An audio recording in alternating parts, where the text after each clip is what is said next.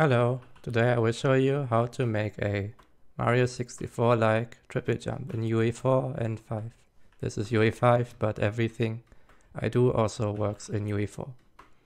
It has the different heights, of course, and it plays different animations depending on which jump you're on. So let's get started.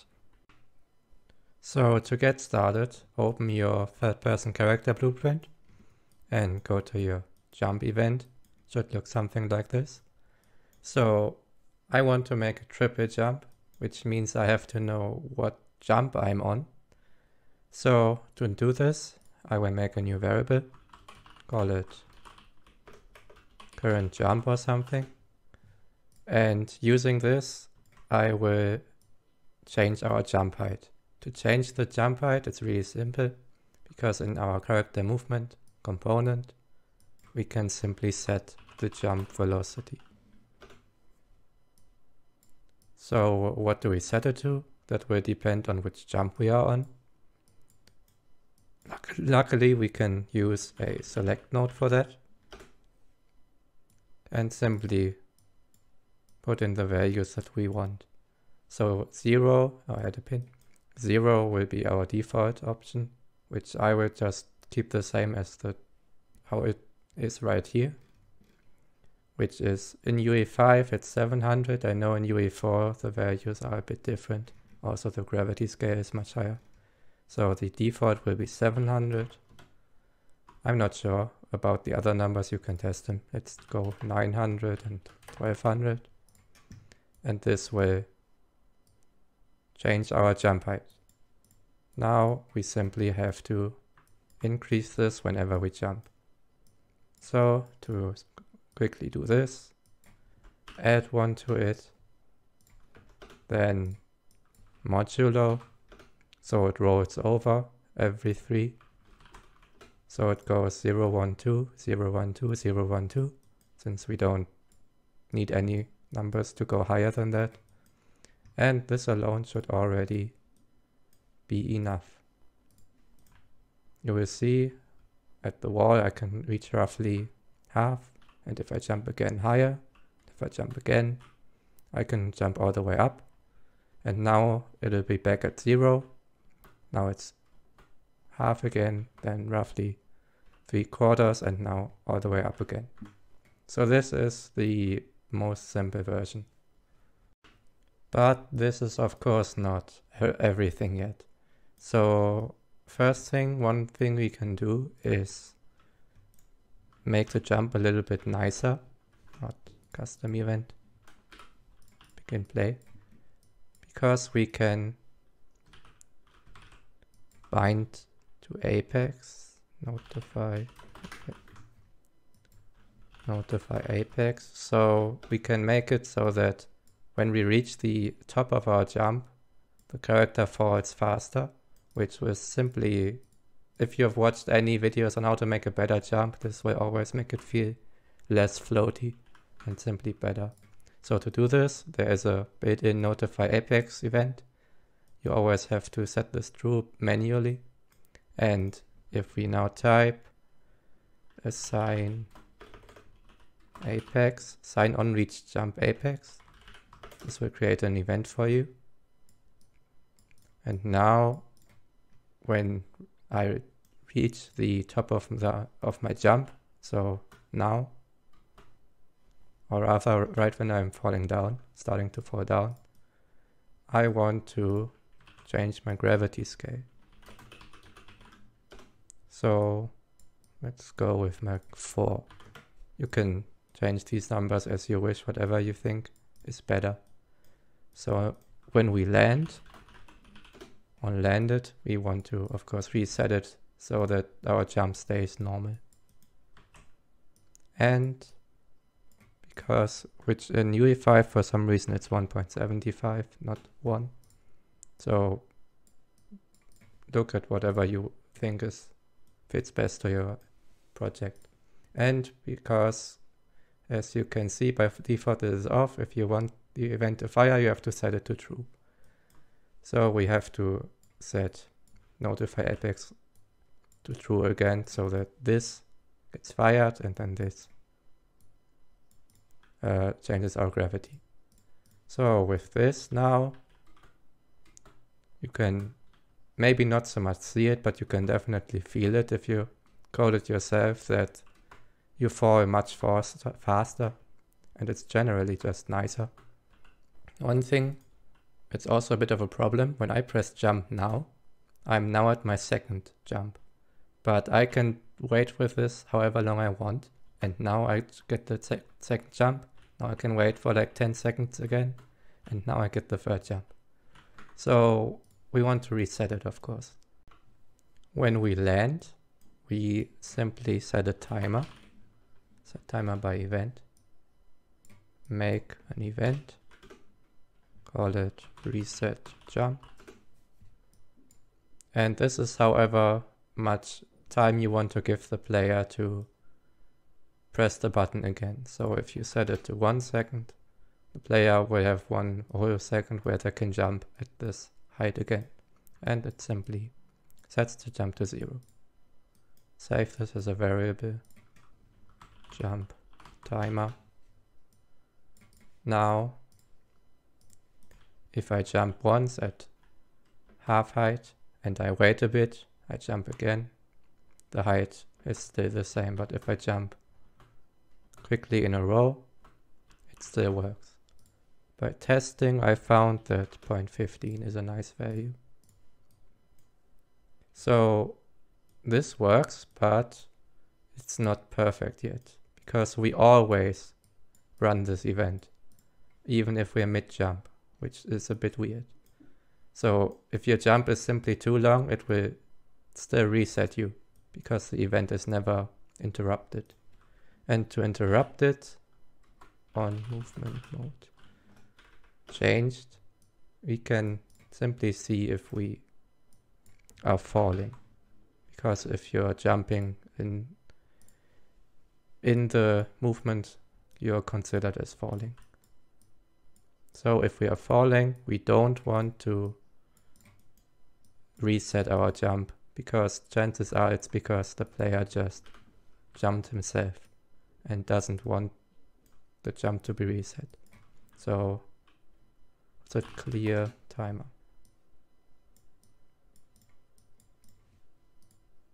Now in terms of code, I think this should be everything. So you have a you have a jump of three different types, three different heights. You can have a bit of a delay, but it also resets automatically if you don't jump for a bit. Next up is the animation part. So I've made previously made three animations. One for the first jump. These are all very quickly done in Cascadeur. The second jump and the third jump. Very simple. Open your AnimBP into your event graph. In UE4 this should look quite different, but all the nodes are still the same. It's just arranged differently.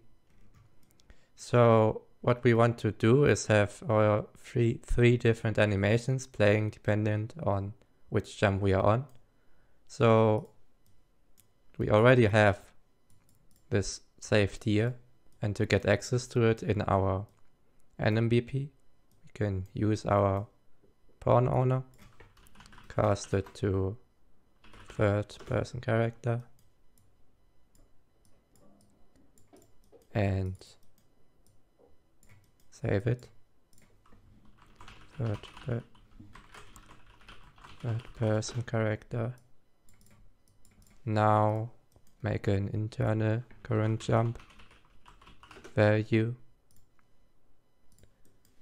and since there's a sequence here already, I might as well use it, set this one to the one in our character blueprint.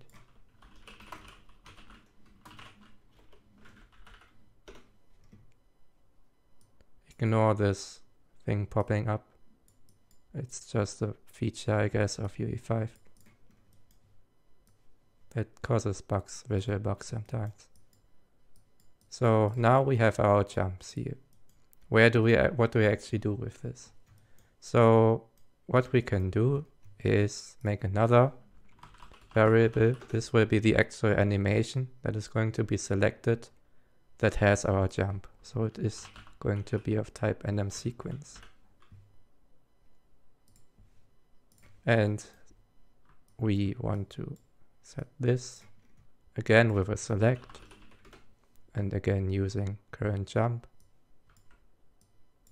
and adding another pin. This is a bit of a bug of Preview 2, I think, with the window, this window not disappearing sometimes. So I want first one to be Mario, then Mario 2, and Mario 3. So now we know that we're the animations. Now how do we actually use them? In your anim graph, it'll also look a bit different again in UE4. It's probably just on locomotion in UE4, but in UE5 it's in main states. You will also have something like jump start and jump loop or something. So in jump, we will want to play our animation. To do this, it's very simple. We can simply click on this player, click on the sequence and bind it to our jump animation. That's it. Now we should do something. You can see it's doing something, but it's not quite it. That's because we also need to change the loop. The loop is a bit different because if you jump in Mario 64, if you jump, you keep your uh, you keep that animation the entire time, but if you fall off something without jumping, it's a different animation. So I want to differentiate between that. I may press jump, it's gonna be a boolean. So blend by bool. If we didn't jump, because maybe we fell off a ledge or something, I want the normal animation to play. And otherwise I want our, our new animation to play. Or rather to just stay at whatever it was. Which is the same as just uh, starting it from the very end. So I want to expose this not this. Jump anim and get the length and start it here. So the idea is that I have a bit of a freeze frame where I'm doing nothing really. And that I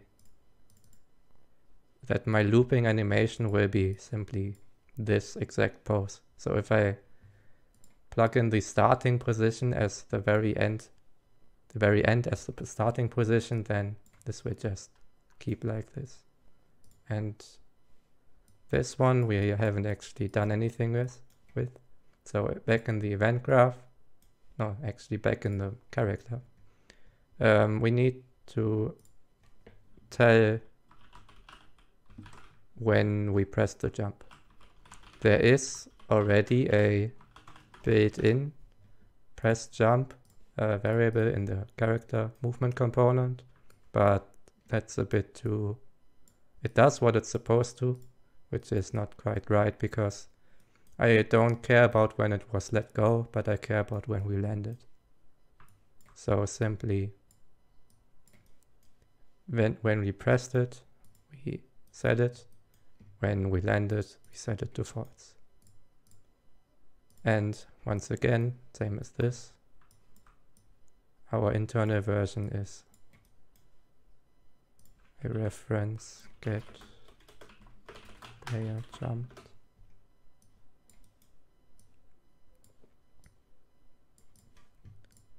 And now this should kind of work.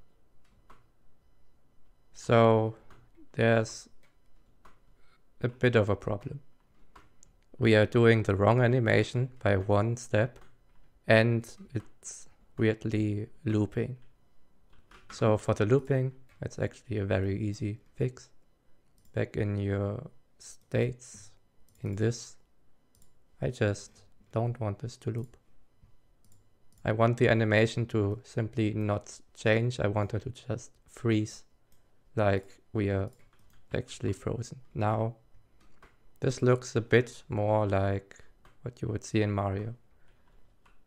If you really want, you could, of course, make special looping animations because I'm just reusing the the simple start animation. You could make a start animation, then also a loop animation for all three jump types. It's a, however much you want to invest time into this. I think this works too. But what doesn't work is that we are one animation off every time. So how do we fix this? Or rather, why is this happening? It's happening because the AnimBP, in the event graph, this is constantly being updated on tick because this runs on tick. So it's constantly being updated, which means after we jumped and we set the jump to the next value, this will already read this new value and increase by one. So we start off at zero, then we jump, then we instantly increase it and instantly go to one, so it plays always one off. And to fix this, very simple, I just move this logic into here. So also jump anim, same thing again, anim sequence and set it. Now it's always reading this the correct value. Move it over a bit.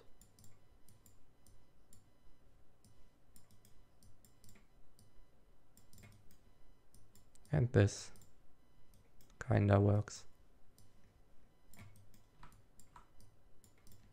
So now in the AnimBP once again, just get jump anim, set it, and now it should always have the correct one.